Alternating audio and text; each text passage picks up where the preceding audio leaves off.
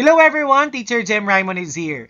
Good news po mga teachers! May dalawang bagong regions na nakatanggap ng Special Allotment Release Order o SARO para sa Performance-Based Bonus 2022 as of August 20, 2024, bandang alas 5 ng hapon. Alamin natin yan sa video na to. Recap na muna tayo. Ito na nga po yung mga regions ang nakatanggap na ng SARO.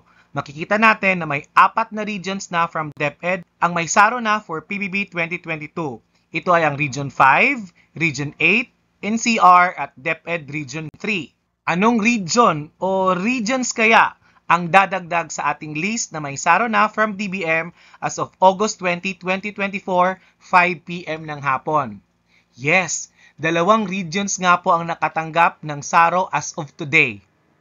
Ang una ay As of August 20, 2024, bandang mga alas 4 ng hapon, nakatanggap nga ng SARO from DBM ang DepEd through the Office of the Secretary to cover payment for the fiscal year 2022 performance-based bonus of teaching and non-teaching personnel.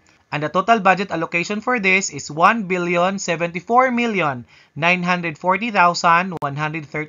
pesos.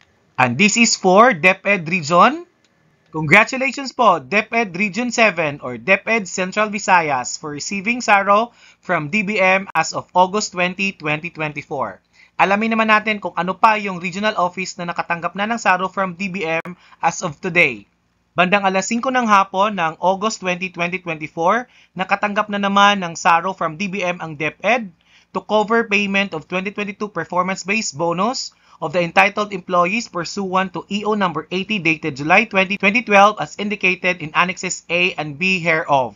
At ito ay nagkakahalaga ng 820,999,559 pesos. At yung saro na to ay para sa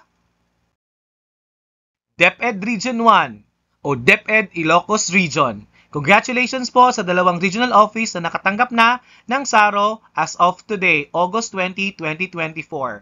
And that's all for this video, teachers. And congratulations to all six regional offices na may SARO na from DBM for their PBB 2022.